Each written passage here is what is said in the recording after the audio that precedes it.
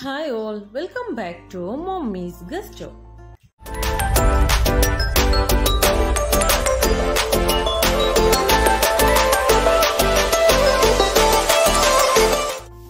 Hello dears ഇന്ന് ഞാനിവിടെ ബജിമുളക് വെച്ചിട്ട് രണ്ട് തരം റെസിപ്പിയാണ് ചെയ്യുന്നത്.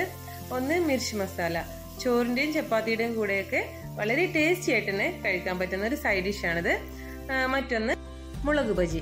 മുളക് ബജി എല്ലാവർക്കും അറിയാവുന്ന ഒരു സ്നാക്ക് തന്നെയാണെന്നാണ് എന്റെ വിശ്വാസം. എങ്കിലും ഞാനിത് എന്റെതായ രീതിയിലാണ് ചെയ്യുന്നത്. അപ്പോൾ നമുക്ക് വീഡിയോയിലേക്ക് നോക്കാം. വീഡിയോയിലേക്ക് കിടക്കുന്നതിന് മുന്നേയായി ആദ്യമായാണ് നിങ്ങൾ എന്റെ ചാനൽ കാണുന്നതെങ്കിൽ പ്ലീസ് സബ്സ്ക്രൈബ് ചെയ്യുക. അതേപോലെ തൊട്ടടുത്തുള്ള ബെല്ലൈക്കൺ ഇനേബിൾ ചെയ്താൽ ഞാനിടുന്ന വീഡിയോയുടെ നോട്ടിഫിക്കേഷൻ നിങ്ങൾക്ക് ലഭിക്കുന്നതാണ്. മിർച്ച് മസാല തയ്യാറാക്കുന്നതിനായി ഈ ബജിമുളക് ഇതേപോലെ നീളത്തിലരിഞ്ഞ് നാലായിട്ട് ഓരോ മുളകും നാലായിട്ട് അരിഞ്ഞെടുക്കാം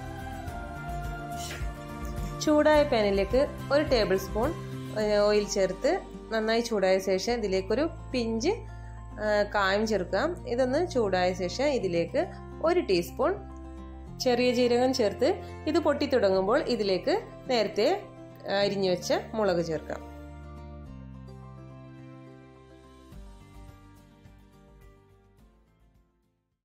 നന്നായി ഒന്ന് വഴറ്റി മുളകെല്ലാം വാടി തുടങ്ങുമ്പോൾ ഇതിലേക്ക് അല്പം മസാലപ്പൊടികൾ ചേർക്കാം.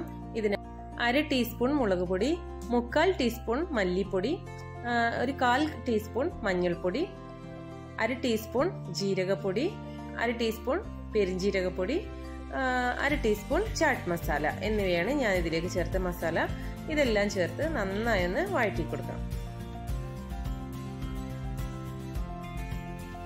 ഇതിലേക്ക് ആവശ്യത്തിന് ഉപ്പോട് ചേർത്ത് നന്നായി ഒന്ന് യോജിപ്പിച്ചെടുക്കാം.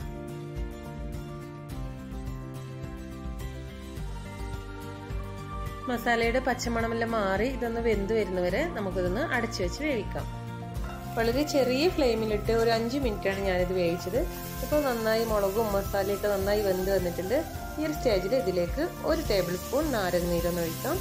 അതിനുശേഷം നന്നായി ഒന്ന് മിക്സ് ചെയ്ത ശേഷം ഇതിലേക്ക് അല്പം മല്ലിയില അരിഞ്ഞതോടെ ചേർത്ത് നമുക്ക് ഫ്ലെയിം ഓഫ് ചെയ്യാം.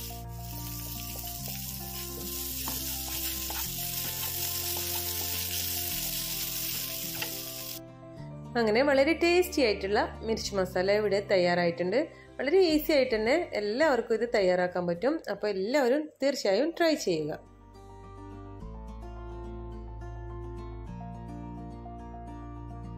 അപ്പോൾ ബജിമുളക് തയ്യാറാക്കുന്നതിന്റെ കൂട്ടാണിത്. ഞാൻ ക്യാമറയുടെ സ്വിച്ച് ഓൺ ആക്കാൻ മറന്നുപോയി. അതുകൊണ്ടാണ് ഇതിൽ പെടാഞ്ഞത്. അപ്പം ഞാൻ ഈ ഒരു കപ്പിന് ഒരു കപ്പ് കടലമാവ് അതേപോലെ ഈ ഒരു ടേബിൾ സ്പൂണിന് ഒരു ടേബിൾ സ്പൂൺ അരിപ്പൊടി. പിന്നീട് ഇതിലേക്ക് ഒരു അര ടീസ്പൂൺ ബേക്കിംഗ് സോഡയാണ് ചേർത്തിരിക്കുന്നത്. പിന്നെ ഞാൻ ചേർത്തിരിക്കുന്നത് ഓമമാണ്. ഇത് ഓപ്ഷണലാണ്. ഇത് ചേർക്കുകയാണെങ്കിൽ ഒരു പ്രത്യേക ടേസ്റ്റാണ് ഇതിന് പിന്നെ ആവശ്യത്തിന് ഉപ്പോടെ ചേർത്ത് നന്നായി ഒന്ന് മിക്സ് ചെയ്യുക.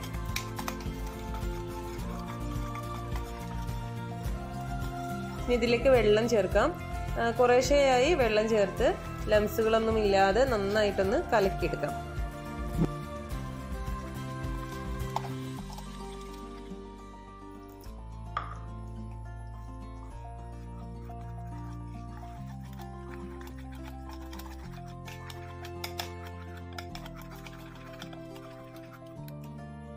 ഇപ്പൊ നന്നായി യോജിപ്പിച്ചെടുത്തിട്ടുണ്ട്.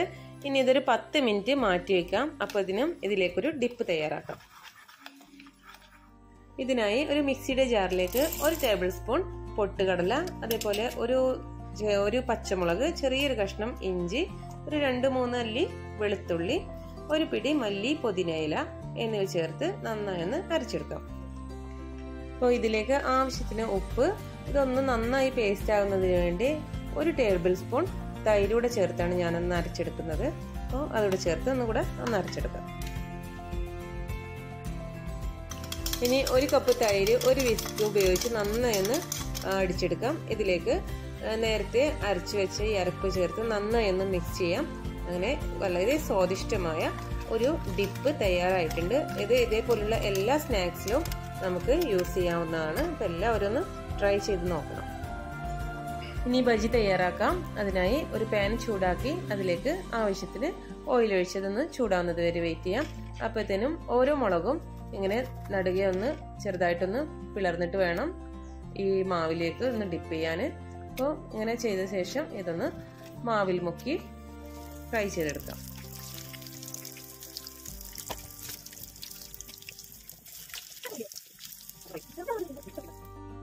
അങ്ങനെ വളരെ ടേസ്റ്റി ആയിട്ടുള്ള ബജി മുളക് ഇവിടെ റെഡി ആയിട്ടുണ്ട്. എല്ലാവർക്കും എന്റെ ഈ രണ്ട് റെസിപ്പിയും ഇഷ്ടപ്പെട്ടെന്ന് കരുതുന്നു. അപ്പോൾ എല്ലാവരും ട്രൈ ചെയ്യുക. ഫീഡ്ബാക്ക് എന്നെ കമന്റ് ബോക്സിലൂടെ അറിയിക്കുക.